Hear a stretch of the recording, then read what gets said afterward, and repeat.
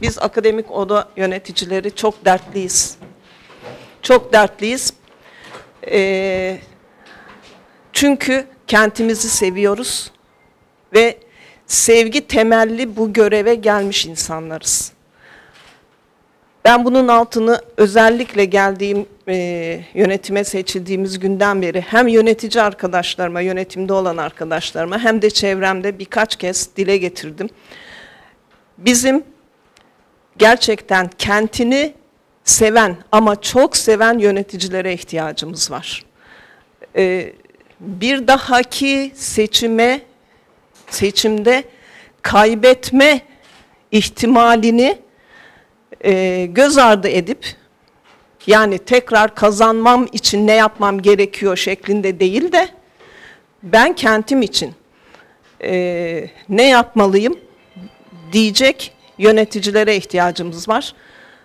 Ben oda yönetiminde olan e, dostlarımı bu açıdan e, çok değerli buluyorum. Onların e, birlikteliği, konulara olan yaklaşımları ve e, paylaşımları gerçekten çok güzel. Şimdi gelelim bizim inşaat mühendisleri odası olarak birkaç konumuz var. Ee, tabii söylenenlerin, konuşulanların hepsine e, biz de bu e, büyük bir oda olarak ve e, yönettiği kitle olarak da e, geniş bir e, kitlesi olan oda olarak hepsine paydaşız sonuçta. E, kentimizin tarım ve sanayi dengesini iyi kurmak zorundayız. Burada akılcı çözümler, kesinlikle bir e, çevre düzen planı, kentlerin anayasası. E, bu anayasamızı e, çok e, doğru oturtmalıyız ki işte o özlediğimiz planlı büyümenin, planlı gelişmenin e, önünü açabilelim. Daha önce denenmiş, yapılmış, e, ne zaman ki bu e, planın e, dışına çıkılmaya başlanmış, ipin ucu kaçmış ve ondan sonrasını da düzeltmek gerçekten e, mümkün olmuyor. E, geçenlerde Dünya Ekonomik Forumu'nu şöyle bir medyadan e, biraz bakayım ne konuşuyorlar, ne yapıyorlar diye baktığımda çok etkilendiğim bir e, gündem vardı. E, gündem şuydu. Yani konuşulan e, konulardan birisi. Doğanın kentlerin içine girmesi için neler yapmalıyız? Konuya bakar mısınız? Dünya artık neleri konuşuyor? Biz peyzaj alanlarımızı bile konuşamıyoruz. Yani tekrar altını çiziyorum. Doğanın kentlerin içine girebilmesi için neler yapmalıyız?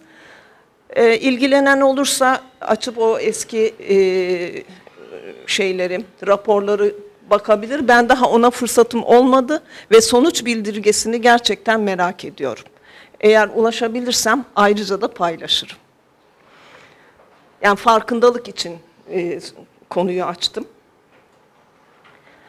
E, evet, kentimizdeki e, yapı alanlarının e, yani yeni alan açılmasıyla ilgili biz inşaat mühendisleri odası olarak e, yeni alan e, mevcutların değerlendirilmesinden yanayız. E, çünkü işte biraz önce Şirin Başkanım da söyledi.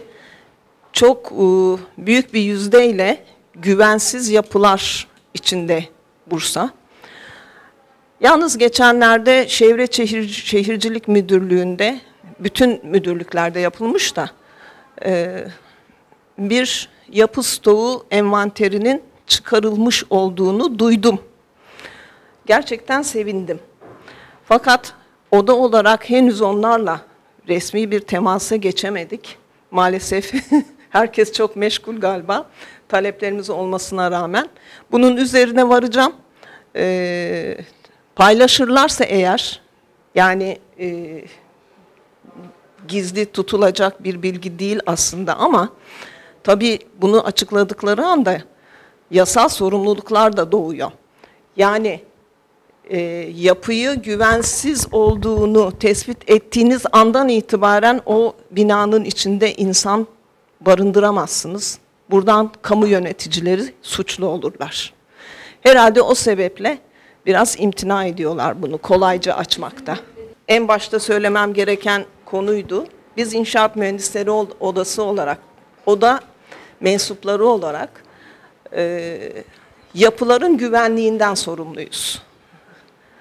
Engin Başkanımın disiplininden gelen doğru bilgileri bizim doğru değerlendirip güvenli proje üretmekten binanı, binaların, yapıların yapım aşamasındaki kontroller ve teslimine varıncaya kadar olan süreçte inşaat mühendisleri yapı güvenliğinden sorumludurlar.